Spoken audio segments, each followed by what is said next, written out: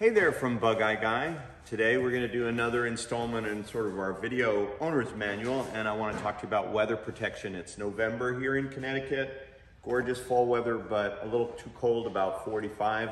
We need the top today so I'm going to take this car out. I thought I'd put the top on with you watching. So a lot of people ask us how do you make this weather gear work. It's obviously all designed in the perhaps early 50s and that's 1950s. And uh, it's not very effective, but it does help and you do the best you can with it. But there are things you can do to make it work better than if you use it incorrectly. And I'll show you some of that in this video. So first step is we want to get the tonneau off. Now this is a long tonneau. You've seen us talk before about short tonneaus that fasten here. This is the long tonneau and it uses all the same fittings as the top. And these are Tenax fittings which are these pistons. I had someone recently ask how to open these. It's a mushroom that you pull up the top. There's a little spring in there, and that's a Tenax, a Tenax fitting. So it also is supposed to have these bars that hook on here. I know we're gonna talk about tops, but we might as well talk a little about this. These will come uncut because the manufacturers all wanna give you a little wiggle room for installing them. You don't wanna cut this too wide so that this bar can fall out. This little bar is essential for holding the tonneau on the car. But anyway, this is a, a gorgeous Everflex tonneau and it's the best one to get. And that's the one that we sell in our catalog. The Bug Eye Guy parts, parts catalog has this stuff if you wanna upgrade any of your gear or for, for the spring have a new tonneau. So, so we'll put this one away for the season and then we'll move on to the top. And the most important thing, well, there are a lot of important things. One really important ingredient is this bow. And if you look in here, um, I don't know if you can get in here to see, but this is the way that the factory mounted these little brackets. And it's kind of cool. You don't see this very often. There's a little square receptacle here for this top bow and the factory mount was actually piercing a hole through this Hardura mat. Remember on the original cars that came with this Hardura in the back, the carpet would be non-stock. It would have had a rubber mat here, but those rubber mats are really, really difficult to execute. Nobody's come up with a reproduction. So carpets become the standard, but this was the original, this was the original ins installation and this had a rubber bumper. Well, this snap was original, but there was a little rubber bumper. You might find the hole in your car probably right about there. This little rubber buffer, which we also have in our catalog, but um, that was meant to go there so that it would stop it from, you know, it would sort of brace the piece like that. There was also a strap that went through this flange right here. And that strap held the top and the bows secure. So you would see the hood, if you will, in the UK, for you frog eye owners. You would see the hood rolled up here in a Concours correct car. Practically speaking, that's kind of a lot of work to pack. So most people will just fold up their top, throw it in the back. And we made these bags to go one step further because it's the easiest way, you know, in the, when you're not using it, you throw it in the boot. When you need it, you pull it out and it stays protected. We'll talk about that a little more in a second. But So to get this out of here, you want to pull this out. And by the way, in most of these cars, it's kind of too painful to pierce and put this hole in. So you'll see these brackets, these little metal receptacles, you'll see them mounted on the outside of most of these bulkhead coverings on most cars. But anyway, this is my car Cole, which is a beautiful restoration, and it happens to have it done correctly. So we'll take advantage of that. So to remove this thing, this this baby right here is like the worst, the worst design, horrible idea. You know, I mean, even all these automated modern tops that have motors and gizmos, they're there are all those moving parts, but they won't destroy your car the way this thing will. So this you want to handle with extreme care because the opportunity to destroy the back deck, scratch the windshield, write your name on the hood. I mean, this little baby right here has zero protection, so it's sort of a deadly weapon. Uh, but we deal with them every day, so um, it's something that just kind of built into these cars. But so what you generally want to do to get these out is you have to watch out that you don't gouge these up and that you don't scratch the doors. I mean, it's like 101 different ways. Stay away from this thing. You'll destroy your uh-huh. car. Now, if you do it right, it's, it's not, it doesn't have to be that big a deal, but you're trying to sort of angle it. I, I like to angle it around 45 degrees and then I can lift it out very carefully without like Operation, that old game where you hit the, the edges, you know, this thing is to be treated with care. So it's stowed facing aft. And when you need it, again, holding it way, needs to be tall for this job so that it's away from the car. Uh, it goes in this socket and again at an angle so that I don't destroy these because these are always all scratched up. We spend hours polishing these because they get destroyed from this top bow. Okay, we're safe. It's, it's in its receptacle now. And that's the goal, is to get it from there to here without hitting anything. And if you can do that, you're a hero in my book. This thing also has the spring. So right here, there's a spring mechanism and there's a little detent. And so now it's in the detent. Here it's out of the detent. It's important that that's working on your car because that's integral to making tension on your top when you're all done. So when you're putting the top or the hood on the frame, you want these in the down position. Again, you know, remember this is an $1,800 car. It's Probably one of the motors on a modern BMW convertible costs $1,800 just to operate the back hatch. So this is super crude, but it does work and you just want to treat it well. So now that we have this in position and retracted, we're ready for this baby. And we keep these in the bag, mainly it's a fleece line bag because what happens is these things just get destroyed sliding around. One more part of the theme. The, the rear window on this, which, you know, on most cars now are glass, this is what's so vulnerable. They get scratched. And if you just ball this up and throw it in the boot, when you go to take it out, you're screwed. So what we do is we, we put it in the bag with the padding and I'll also be even more meticulous and put a bath mat or a towel on the window so that when I fold in these quarter lights, which also get scratched, I don't end up grinding the daylights out of my clear window because I'm gonna be looking through that all winter long. So the first step for me, the way I do this is I'll take the bar now this is another, it's worth noting, a lot of these tops are missing the bars and they get torn like this. Now I didn't build this car, was, it's a great car, but it came to me like this. And it's possible somebody installed it without the bar. It's also possible they just hooked it incorrectly and tore the fabric. No huge deal, we could certainly fix that. But the key thing is that this bar engages under these hooks. Some of the cars have these missing. Some of them have them in the wrong place. We have a template so that you can get these exactly where they need to be. But it hooks like so on both sides. And you start there, you're trying to center the hood on the body.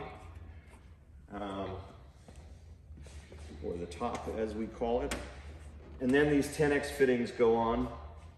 And there's this, I'll show you on your side so you can see what I just did. These are the Tenax pistons again. They have these little springs. So they go, I'm gonna have to pull it over just a tad like that. And they go on these fittings. And incidentally, these fit, one more thing, so easy, anyone can do it. These loosen up. I'm just sort of making fun of the complexity. These loosen up. These wear out. They get all floppy. These, these are supposed to be riveted, but they're often screwed on and oftentimes the screws will be loose, the fitting will be loose. We sell all these fittings new in our catalog, of course, but this is a tricky one because you have to remove the panel on the backside to tighten it. It's hard to get to this. So a lot of these are loose, so that's something you want to be looking for. And now, if you're still, if you haven't frozen to death, we're getting closer to putting up the top. Nice to do this inside. And now comes the next, the next place that's often done wrong. So there's a bar inside here. And um, incidentally, we sell this bar set. And I've joked about it in the past, but on my original Bug Eye Gumby in, in the 70s, I didn't have this bar. I didn't even know about it. And when I hit 30 miles an hour, I go boop and pop open, which really didn't work very well when the rain or snow came in. So you need this bar, and the bar engages in this slot right where my fingertips are. And you got to get that right, otherwise the, the front of the top is not going to stay put. So the way that I'll do this is I'll put these snaps on. These are lift dot fittings, and they go on these two studs as you're seeing there in the camera. There's one on each side. And this is the later style bar type top. And the early cars up to roughly car 5000 had a set of studs across the front here, a lot like a TR3. And this setup with the bar is actually much more positive. The studs, there were nine of them, and you could get weather going between the studs. So this setup is the modern quote unquote modern style and uh, or more modern style for Mark 1 sprites and all the Mark 2s had this. And this bar engages in this slot and now you can see you won't get air blowing up through there. You get both of these on and now the front of the top is properly secured on the windshield and you won't get water or air going up through there. So this is what it looks like three fasteners on each side, two in the front, two hooks. One more thing is the bow here on this top is about in line with this seam. Many, many times these bows are bent fore or aft, and sometimes you even have to bend them a little to get it to look right. But the quality of the tops, unfortunately, is not as good as it once was. The top that we sell tends to fit quite well. It's a little bit more expensive, but most of these have shrunken as they age and they lose their suppleness as they age and they're too stiff when they're made and the pattern is too small. So to try to put a top on, especially if it's cold or if you're at all arthritic, very, very difficult. We've tried to repair that by selling a premium top that's made out of great material. This is called Everflex and that's the one that you want. Even if it costs you a little more, you will get to use it and install it on the side of the road with a lot less effort. Okay, so now we have this roughly installed and I'm now on to the next step, which if you can see under here, I'm pulling from one side, but it's, it's not really designed to be pulled from one side. You kind of have to pull from the center and it might require a couple of laps or I have to push from underneath to try to get this to go over center.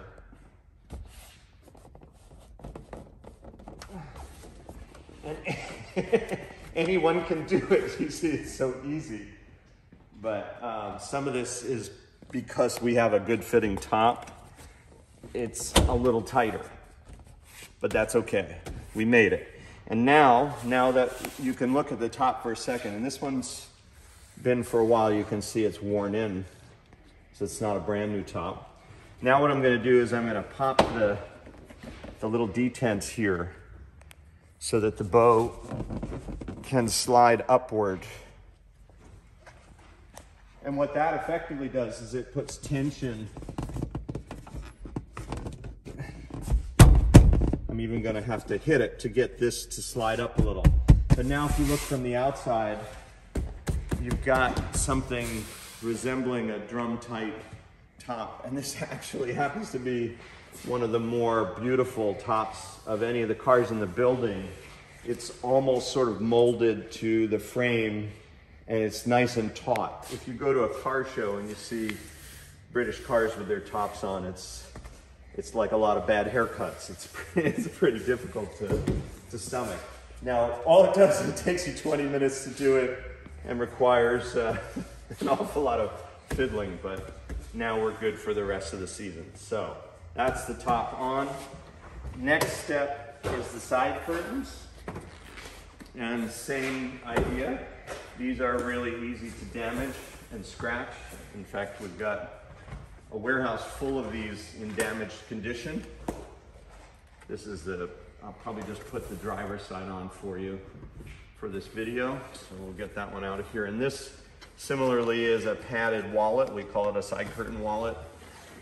And we have these in our catalog as well.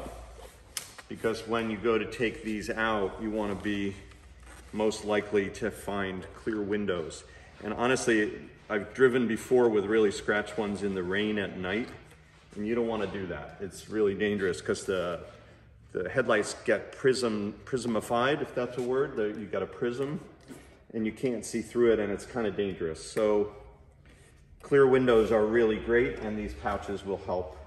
There's another thing that we've uh, started doing lately, which is using these these rubber washers here because this trim piece gets so badly damaged from these brackets because you have metal on metal. Again, this wasn't, nobody thought in 1958 when they started selling these that anybody would care about these kinds of cosmetic and restoration kinds of issues. But now that we polish and put so much effort into these trim strips, it's nice to protect them. So with these, you're trying to, they don't always line up, and we'll see if we can get this one. There it is. You're trying to basically get these loose enough so that you can get them to slide aft and lock into place. And then sometimes if you wiggle them, you can get them tighter. But the idea being that you want to get these, they don't have to be super secure. You don't need to tighten these with a screwdriver. This can't come off now, and it's once the door's closed, it's locked in place. But you just need it to be snug enough that it won't fall off when you open the door. Again, damaging the car. That's the theme. There's so many different ways to damage the car. But if you do it right, it all works well. And then that's it, all done. And then there's a, a, a block here to close it from the inside or the outside. There should be one here on the outside, one here on the inside. Mm, I'd have to look it up. There may be, we're supposed to be one on this, right on the back of this, and this one is here. Not really sure which is correct, but it doesn't really matter because it works fine. This allows the person to open it from the inside. You're looking for a reasonably good fit here. Here's where the kind of, there's a little bit, a little bit of flexibility in terms of weather protection. But um, believe it or not, this makes a pretty nice toasty little nest. And that's where I'm off, what I'm off to enjoy in this wonderful five speed, 100 horsepower bug eye called Cole. Now ready for the winter. Thanks for watching from Bug Eye Guy.